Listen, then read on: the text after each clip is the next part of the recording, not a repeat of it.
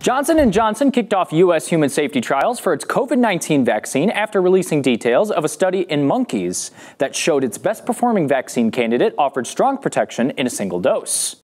NASA's next generation Mars rover Perseverance blasted off from Florida's Cape Canaveral on Thursday atop an Atlas V rocket on a $2.4 billion mission to search for traces of potential past life on the red planet.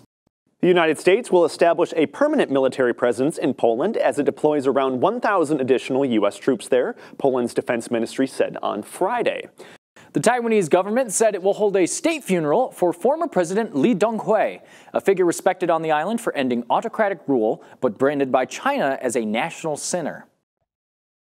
Attorney General William Barr testified before the House Judiciary Committee on Tuesday, denying accusations he is doing President Donald Trump's bidding by intervening in high profile cases and sending federal agents to quell violence in U.S. cities.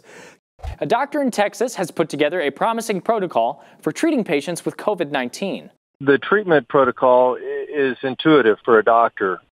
New South Wales police on Monday warned students of Chinese backgrounds studying in Sydney to be aware of a virtual kidnapping scam that has obtained millions in payments from unsuspecting victims. Russian scientists are poring over the stunningly well-preserved bones of an adult woolly mammoth after local inhabitants discovered its remains in the shallows of a North Siberian lake.